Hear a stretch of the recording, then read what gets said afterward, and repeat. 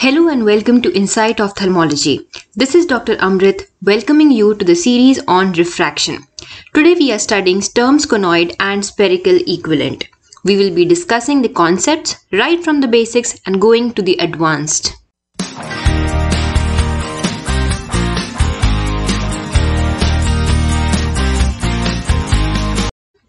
Before we go into the details of the Sturm's conoid, it is very important for us to know what is meant by a toric surface. A perfect spherical surface as shown over here will have equal refractive powers along all the meridian. That means the 90 degrees meridian and even the 180 degree meridian or any other meridian if you take, all of them will be equally curved and all of them will have equal refractive power. However, if we take a surface like this, which is shown over here, it does not look like a perfect sphere. However, it is, it is looking as if the perfect sphere has been compressed from the either side in such a way that the vertical meridian has become now more curved compared to the horizontal meridian. Such a surface in which the meridians which are aligned at 90 degrees to each other are not equal and one of the meridian is having more power compared to the other meridian or what I mean to say is one meridian is more curved compared to the other meridian. Such a surface is called a toric surface.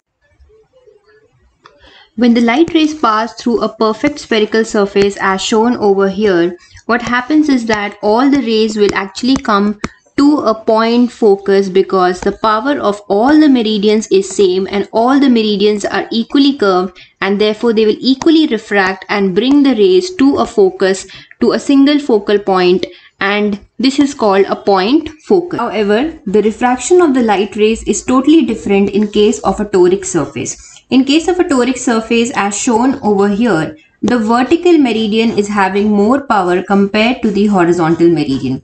Therefore, the rays of light will get convergent or they will get to a focus sooner from the vertical meridian compared to the horizontal meridian. That means if the rays are passing like this, the vertical meridian will focus them at a point say A. The horizontal meridian however are going to focus them at a point B which is far from the point A right? And why does this happen? Because the horizontal meridian is having less power compared to the vertical meridian.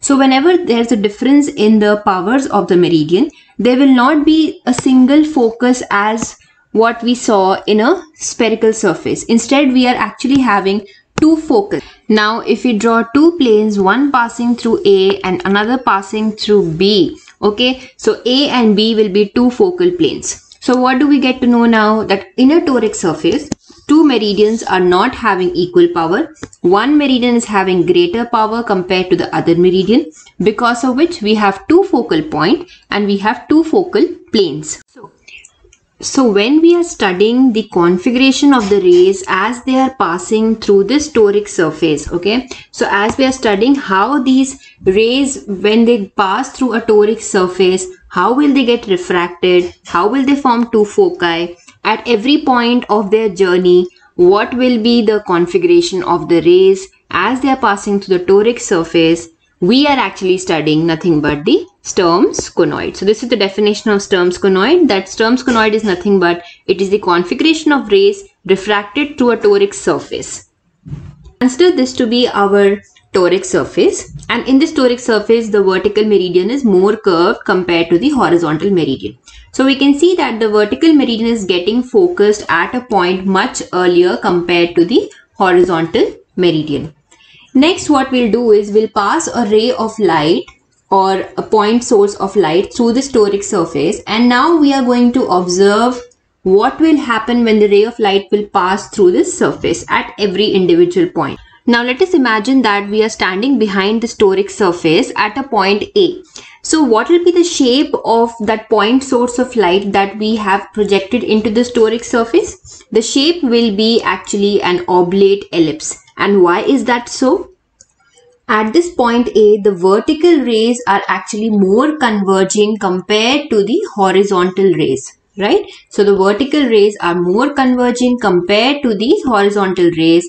Now because of that, the, the same point source of light, it will look as if it is compressed. It is more converged from the vertical side and from the horizontal side, it is actually elongated. That is the reason we are seeing this shape and the shape is an oblate ellipse. Now let us imagine that we are standing at a point B. Okay, now at this point B, the vertical rays have totally converged. However, the horizontal rays are still converging. So what is happening to this oblate ellipse? That means the vertical, it is as if you are compressing it further. But horizontally, it is not yet that much compressed. So we are going to get is, we are going to get a horizontal line at the point B because the vertical rays have totally converged at point B.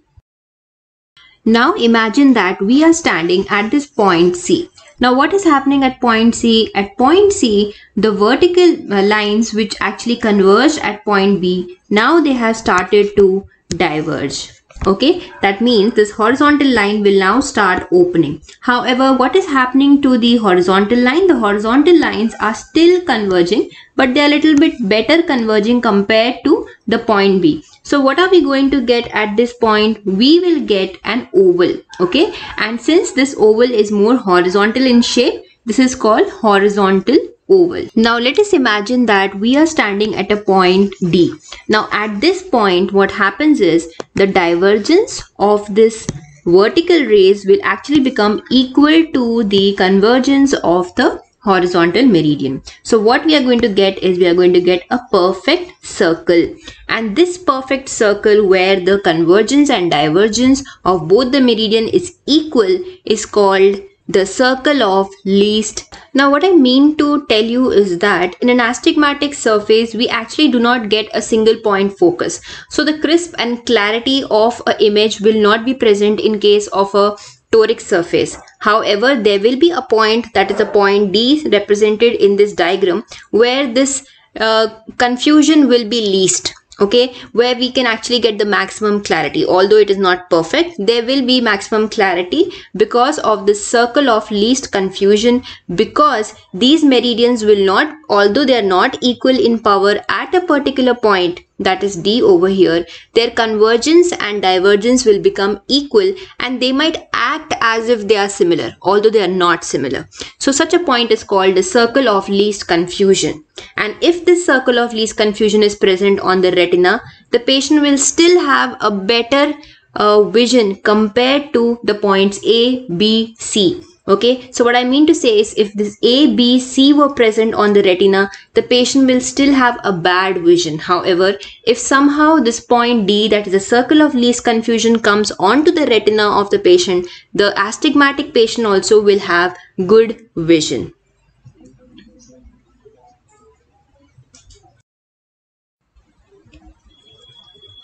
Now let us see what happens if our retina was present at point E. Now at this point E we can see that the convergence has increased and the divergence has increased. So what I mean to say is that the these horizontal meridian is actually now coming close together but the vertical meridian is now going far together. So what we are going to get now is actually a horizontal oval okay? So we're getting a horizontal oval why because the vertical meridian is now diverging and the horizontal meridian is now converging. So we are going to get a vertical oval. Now what will happen if we actually uh, stand at a point f now at the point F, what is happening to the horizontal meridian lines? The horizontal meridian lines are totally meeting with each other. Whereas the vertical meridian lines are still diverging. So what are we going to get? We, we will get a straight vertical line at the point F. Okay? Because the vertical rays are diverging. Now let us stand at this point G over here. So what is happening at point G? Both the horizontal and the vertical lines are now diverging. So finally what we are going to get is we are going to get actually a prolate ellipse. Okay. So just remember that in the beginning we were actually getting a oblate ellipse and then slowly slowly it kept on changing from to horizontal line horizontal oval circle of least confusion vertical oval vertical line and finally we got the prolate ellipse. So this was the journey of our point light source passing through the toric surface becoming an oblate ellipse at point A, horizontal line at point B, horizontal oval at point C, perfect circle at point uh, D and then vertically oval, vertical line and then prolate ellipse at point G. So there are two points at which there was actually convergence of the rays. So the first point was at B where the vertical rays were converging and then there was a point F where the horizontal rays were converging. So from the point B, we got a horizontal line and from the point F, we got a vertical line. So if you observe carefully, nowhere we got any point focus. Instead, we are getting focal lines and these focal lines are our horizontal focal line and the vertical focal lines, right? And it can also be called the anterior focal line and the posterior focal line. So the focal line at B will be your anterior focal line okay which is being formed from the vertical meridian because it is converging before. And the f will actually be forming the vertical focal uh, the second focal line or the posterior focal line because of the convergence of the horizontal rays. Now this is actually showing you the exact configuration of that journey that the light rays were taking. And that journey is nothing but the Sturm's conoid so we got and we were getting horizontal spheres like this and then we got the anterior focal line then we got the circle of least confusion and from there it started becoming more vertical. We got the posterior vertical line or the posterior focal line and finally we got the prolate ellipse right? So now the difference or the distance between the anterior focal line and the posterior focal line is called the Sturm's interval right? And this entire thing is called the Sturm's conoid now based on this Sturm's conoid, can we tell about what type of astigmatism is present or not? Yes, we can, okay? And this concept is very important. Now let us imagine an eye where the retina is actually present at a point A, okay? And if you remember at point A, we were actually getting our prolate ellipse, right? So now what type of astigmatism this patient has? Okay? The type of astigmatism depends upon where the images are actually formed from both the meridians right? So here we saw that the vertical meridian was forming the image at the point b and the horizontal was actually converging at a point f. Now if we are having the retina at the point a where are these focal lines present B and F. B and F both are present behind the retina. And we know that the hypermetropes will form the images behind the retina, right? And since both the meridians are forming the images behind the retina, this is nothing but this is a case of compound hypermetropic astigmatism. Now, if the retina was actually present at the point, say B, okay? So if the retina is actually present at our point B. So here. Now where are the focal lines present and what type of astigmatism it is? We can see that one focal line is directly present on the retina and the other is present behind this retina. So what type of astigmatism uh, astigmatism is this? This is simple hypermetropic astigmatism. Now what if the retina was actually present at a point say C or at a point say D? Okay, any of these points. Now, where are the focal points which are present? One focal point is in front of the retina, that means it is myopic.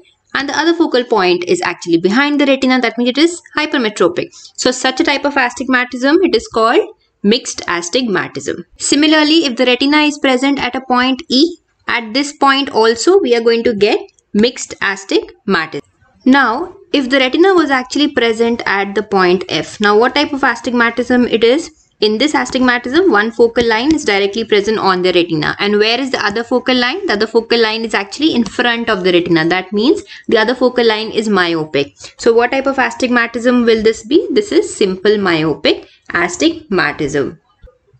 In the end, let us now place the retina at this point that is G. Now, where are the focal points? Both the focal points are present in front of the retina. So, this is a case of compound myopic astigmatism. So, this is why Sturm's conoid is so important. The configuration of these focal points, where these focal points are present and what is the configuration of the bundle of light which is passing through the toric surface is important.